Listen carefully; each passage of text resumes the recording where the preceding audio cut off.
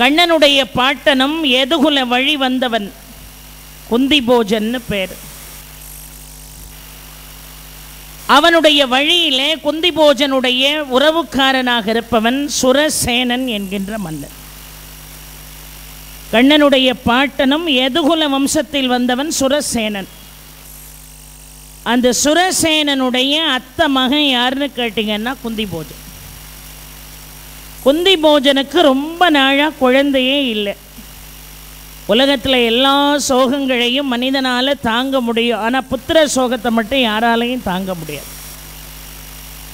அதனால தான் ரொம்ப அழகாக அபிராமிப்பற்ற பாடுகின்ற பொழுது கலையாத கல்வியும் குறையாத வயதும் ஒரு கபடு மாறாத நட்பும் கன்றாத வழமையும் குன்றாத இளமையும் கழுவினை இல்லாத உடலும் சலியாத மனமும் அன்பகலாத மனைவியும் தவறாத சந்தானமும் என்று சொன்னார்.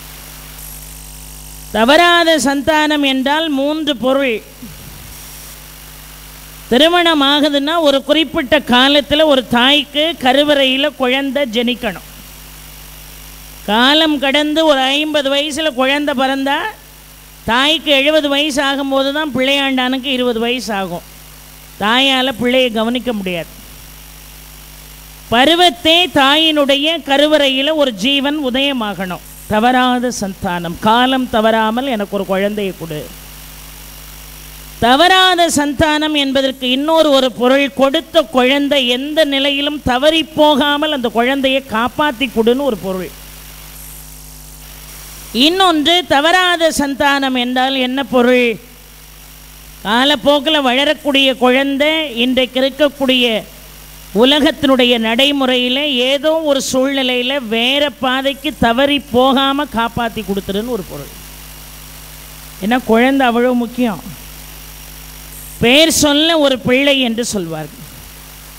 ஒரு குழந்தையை வைத்து தான் அந்த குடும்பத்தினுடைய கௌரவமே இருக்குது எவ்வளவு வசதி வாய்ப்புகள் இருந்தாலும் எவ்வளவு பெயர் புகழ் இருந்தாலும் நமக்கு இறைவனால் கொடுக்கப்பட்ட குழந்தை சரியில்லைன்னு வைங்க அத்தனை புகழும் அடிபட்டு போகும்.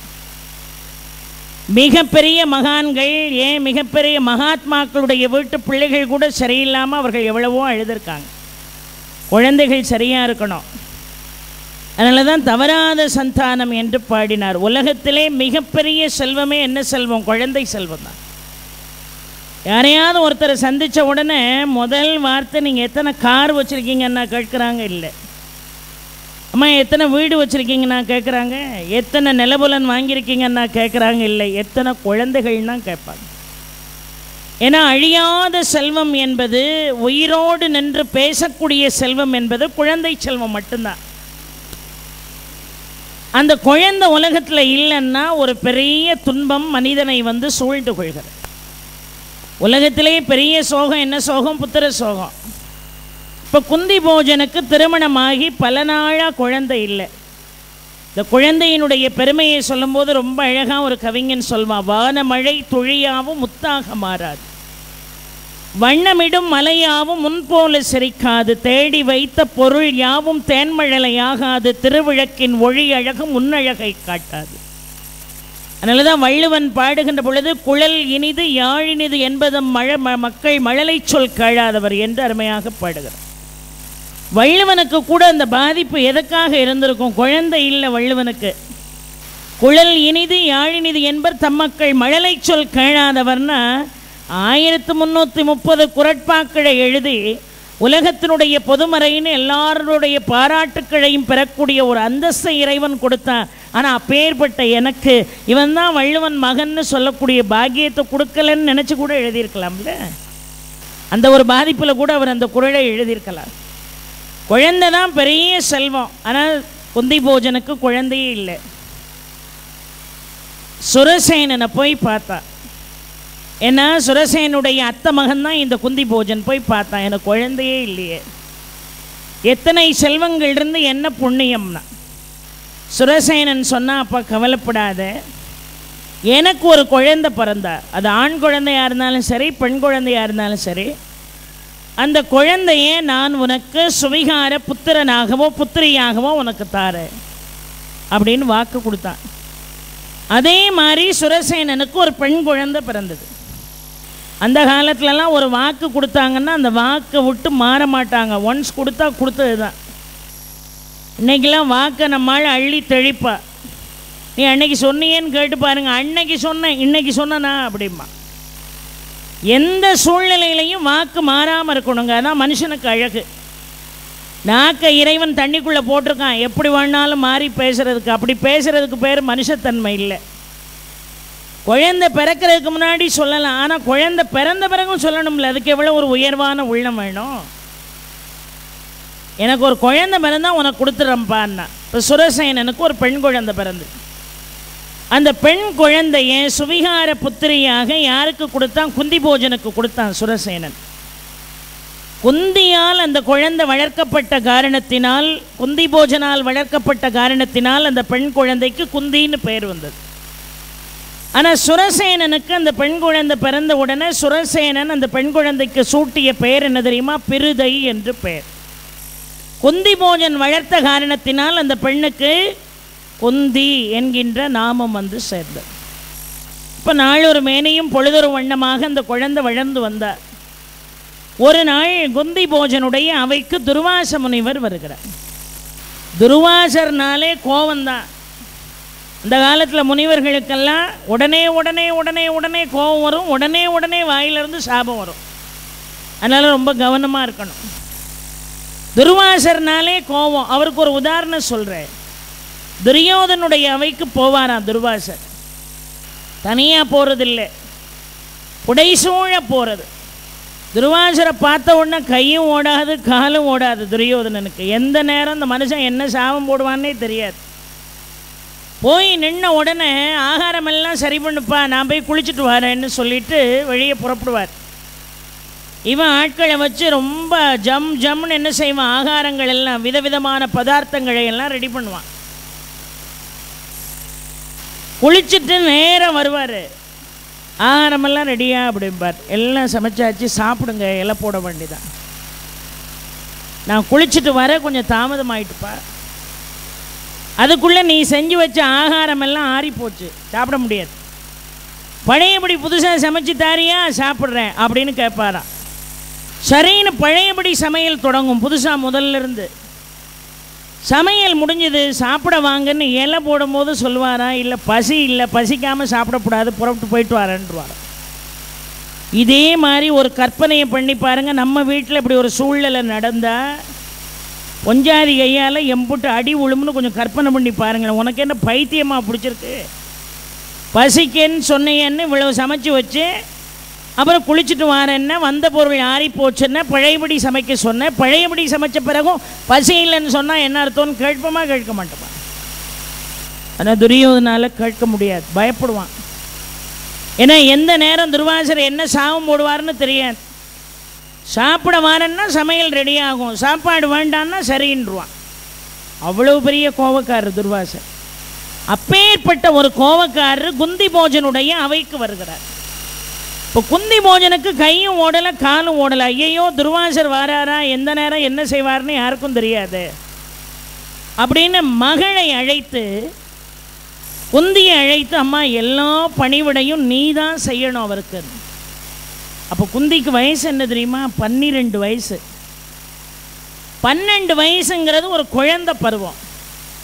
பன்னிரெண்டு வயது வரைக்கும் செய்யக்கூடிய குழந்தைகளுடைய நன்மையும் கணக்கில் எடுத்துக்கொள்ளப்பட மாட்டாது தீமையும் கணக்கில் எடுத்துக்கொள்ளப்பட மாட்டாது. ஆனால் பன்னெண்டு வயசு குழந்தை நீ தான் பணிவிடை செய்யணும்னார். அவ்வளவு அருமையாக அந்த குழந்தை பணிவிடை செய்தது. துருவாசருடைய மனமே மகிழக்கூடிய அளவுக்கு பணிவிடை செய்தது. குந்தி போஜனுடைய எண்ணம் என்னென்னா பெரியாள் உபச்சாரம் பண்ணும்போது ஏதாவது தப்பு வந்துட்டுனா இன்னும் கோபம் அதிகமாகும்.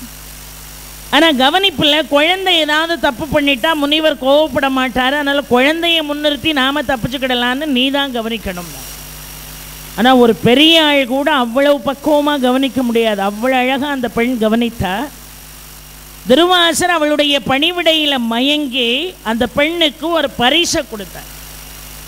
என்ன பரிசுன்னா சில மந்திரங்களை அந்த பெண்ணுக்கு சொல்லி கொடுத்து எந்த தேவதையை நினைத்து இந்த மந்திரத்தை நீ ஆவகனம் செய்கிறாயோ அது உடனடியாக உன்னை தேடி வரும் என்று சொல். ஏன்னா குந்தியினுடைய வாழ்க்கையில எதிர்காலம் என்ன என்பதை தன்னுடைய ஞான திருஷ்டியால் தெரிந்து கொண்ட காரணத்தினால் அவர் இப்படி செஞ்சார். உந்தி யாரை திருமணம் செய்ய போகிறாள்? பாண்டுவ திருமணம் செய்ய போகிறாள்.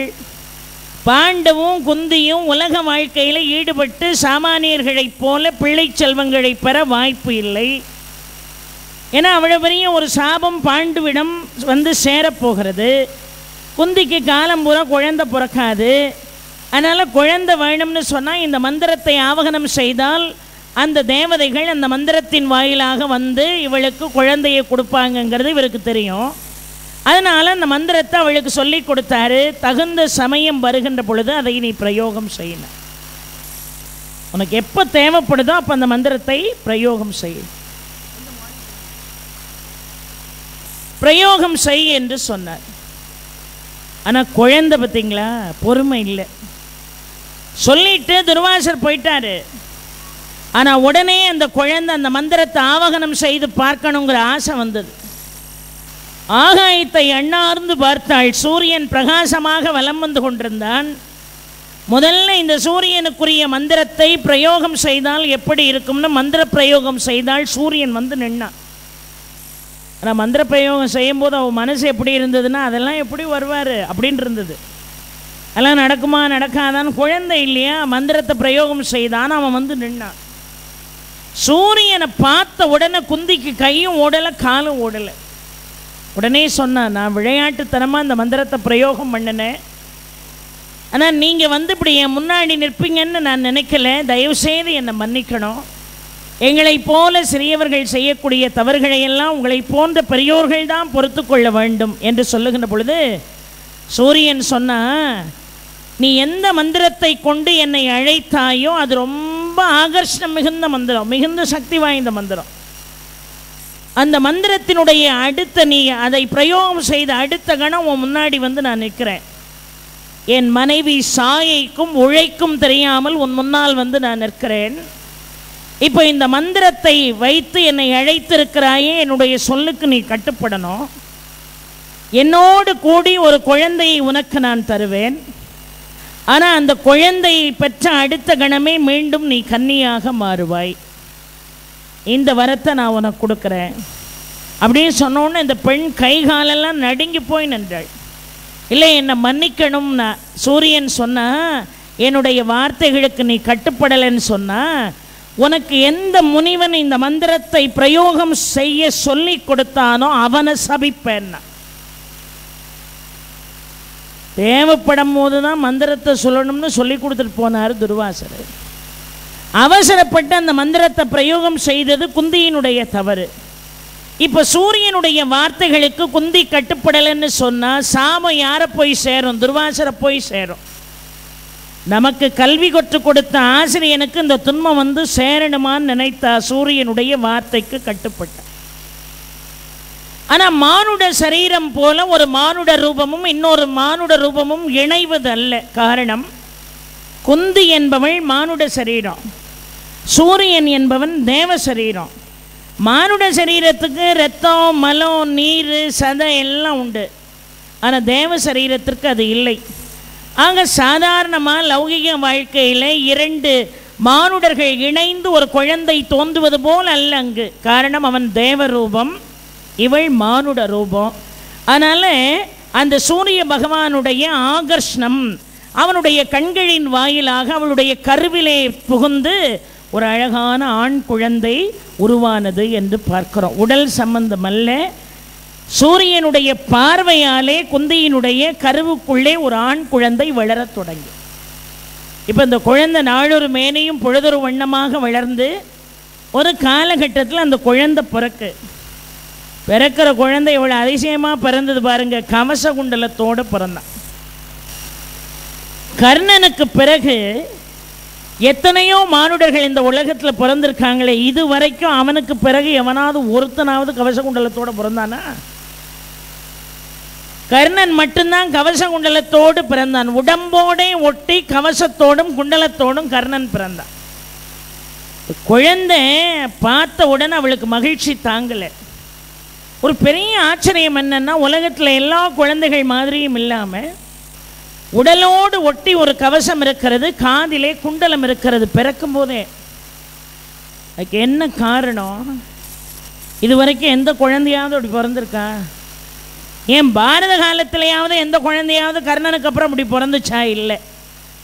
கர்ணன் மட்டும்தான் அப்படி பிறந்தான். அதுக்கு நம்முடைய சமயம் தெளிவான ஒரு செய்தியை சொல்கிறது. சகசர கவசன் என்று ஒரு அரக்கன் இருக்கிறான் அவன் இறைவனை நோக்கி கடுமையான தவம் செய்தான். அந்த சகசர கவசன் எப்படி பிறந்தான்னா ஆயிரம் குண்டலங்களோடும் ஆயிரம் கவசங்களோடும் பிறந்தான். அவனுடைய பிறவியே இப்படி ஆயிரம் குண்டலங்கள் ஆயிரம் கவசங்களோடு பிறந்தான். பிரம்மாவை நோக்கி தவம் செய்தான். உனக்கு என்ன வேணும்னு கேட்டார் எனக்கு மரணமே சம்பவிக்கப்படாது பிரம்மா சொன்னார் மானுட ரூபம் எடுத்தவன் என்னைக்காவது ஒரு நாள் அழிஞ்சு தான் ஆவான். சாகாமல்லாம் இருக்க முடியாது. வேற வரம் கேளு. நானே ஒரு கல்ப வருஷத்துக்கு தான் இருப்பேன். சாகா வரம் கேட்காத. வேற ஏதாவது கேளுன்னார். அப்போ சகசர கவசன் பிரம்மாட்ட கேட்டான் என் காதுகளை பார்த்தீரா? ஆயிரம் குண்டலங்கள் தொங்குகிறது. என்னுடைய மார்பை பார்த்தீர்களா? ஒவ்வொரு கவசங்களாக அடுக்கி அடுக்கி ஆயிரம் கவசங்களோடு பிறந்திருக்கேன். இந்த ஆயிரம் கவசங்களும் ஆயிரம் குண்டலங்களும் என் உடம்பை விட்டு எப்பொழுதும் முழுமையாக நீங்குகிறதோ அப்போ எனக்கு மரணம் வரட்டும்னா. சரின்ட்டார். இப்போ ஆயிரம் கவசம் ஆயிரம் குண்டலம் அழியிற அன்னைக்கு தான் உயிர் போகும். இந்த வரத்தை பெற்ற பிறகு அந்த வரத்தை என்ன செய்தான்? தவறான முறையில் பயன்படுத்தி தேவாதி தேவர்களை எல்லாம் கொடுமைக்கு ஆளாக்குறான் எல்லாரும் போய் நாராயணரிடம் முறையிட்டார்கள். அப்பா சகசர கவசம் கொடுமை தாங்க முடியலப்பான்னு நாராயணன் தன்னுடைய உடம்பை இரண்டு கூறுகளாக பிழந்தார் ஒரு அம்சம் நரன் அம்சம் இன்னொரு அம்சம் நாராயண அம்சம். நரன் நாராயணனாக இரண்டு கூறுகளாக நின்று ஒரு இலந்தை காட்டில் அமர்ந்து தவத்தை மேற்கொண்டார். இப்போ நாராயணர் ஆயிரம் ஆண்டுகள் தவம் செய்வார். ஆயிரம் ஆண்டுகள் தவம் செய்து சகசர கவசனோடு ஆயிரம் ஆண்டுகள் போர் செய்வார். ஆயிரம் ஆண்டுகள் தவத்தை முடித்து ஆயிரம் ஆண்டுகள் போர் செய்த பிறகு ஒரே ஒரு கவசத்தையும் ஒரே ஒரு குண்டலத்தையும் தான் அறுக்க முடியும். பழையபடி அவர் மூர்ச்சையற்று கீழே விழுந்த பிறகு நரன் எழுந்து வந்து ஆயிரம் ஆண்டுகள் போர் செய்வார். இவர் தவம் செய்ய போயிடுவார். அவன் பழையபடி ஆயிரம் ஆண்டுகள் போர் செய்து ஒரே ஒரு கவசத்தையும் ஒரே ஒரு குண்டலத்தையும் தான் இருப்பான் அப்போ ரெண்டு பேரும் மாறி மாறி எத்தனை ஆண்டுகள் தமம் செஞ்சுருக்கணும் எத்தனை ஆண்டுகள் போர் செஞ்சுருக்கணும்னு உங்கள் கணக்குக்கே நான் விடுறேன். நிறைவாக ஒரே ஒரு கவசமும் ஒரே ஒரு குண்டலமும் அவனுடைய காதலையும் மார்பிலையும் இருக்கு. இப்போ நாராயணர் அவரை நோக்கி வருகிறார். அந்த கவசத்தையும் குண்டலத்தையும் அறுத்துட்டா பிரம்மா கொடுத்த வாக்குப்படி சகசர கவசனுடைய கதை முடியுது. ஆனால் போர்க்கிழத்தில் பிரம்மா கொடுத்த வரம் ஞாபகம் வந்தது. நிறைவாக உன்னிடம் இருக்கக்கூடிய கவசத்தையும் குண்டு கவசத்தையும் குண்டலத்தையும் என்றைக்கு முழுமையாக நீ இழக்கிறாயோ அன்றைக்கு மரணம் வரும்னு சொன்ன அசரீரி காதில் விழுந்த அடுத்த நிமிஷம் ஓடி போய் சகசர கவசன் போரை நிறுத்திட்டு சூரியனிடம் தஞ்சம் போகுது.